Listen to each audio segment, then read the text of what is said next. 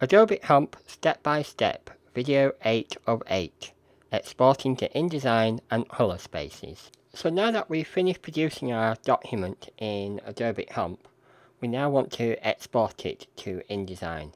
So to do this, I tap on the Share button and then I tap on Send to InDesign. So now my document has appeared in InDesign but the first thing you'll notice is that the colours are rather strange.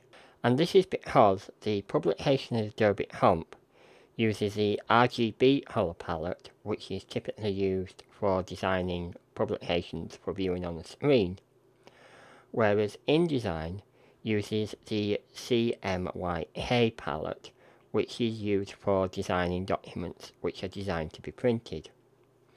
So to change this, all we have to do is go up to the edit menu, come down to transparency blend space and click on document RGB. And now that I've got this document in InDesign, I can work with it in the same way as I would work with any other InDesign document. Thank you for watching. I hope you enjoyed this video.